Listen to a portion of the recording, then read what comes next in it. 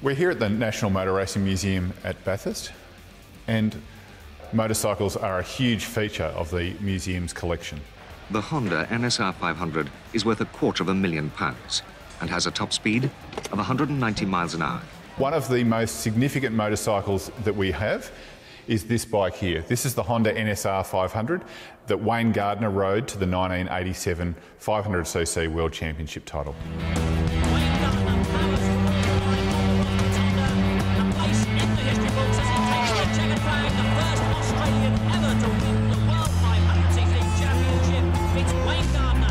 But the thing about this bike, it's not a production bike at all. This thing is a prototype. So when you look at most of the motorbikes in here, they are production based. They, they started life as a showroom, they were modified for racing, they were hotted up. So they're the V8 supercars of the, of the motorcycle world. This is a Formula One car. It is absolutely hand built.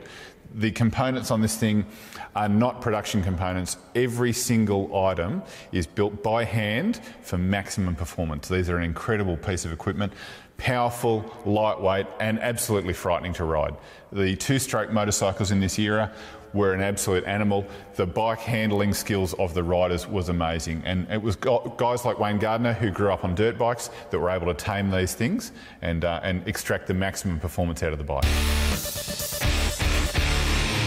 It's a four cylinder, two stroke engine, 494 cc's, about 160 horsepower, liquid cooled. So, pretty extreme engineering for 1987 in the hands of the correct rider and a rider that was able to deal with a bike like this, this would be uh, still at 35 years old or thereabouts. It would still keep up with most of your modern bikes that you see on the showroom floor.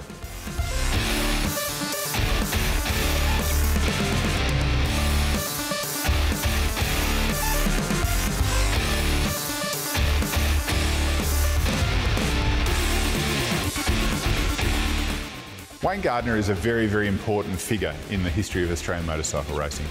Starting off racing dirt bikes around Wollongong um, as a kid.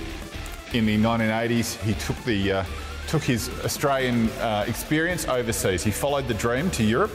He uh, made his way to the factory teams and captured the 500cc world title in 1987. For all of the achievements of people like Mick Doohan, Casey Stoner and those that followed Wayne Gardner uh, were very impressive, but Gardner opened a lot of doors. So for the people in Europe, they'd seen what Australian riders were capable of with Gardner, and that was enabled other Australian riders to follow onto that world stage and have the great successes that they have. And it was all due to uh, Gardner's pioneering efforts.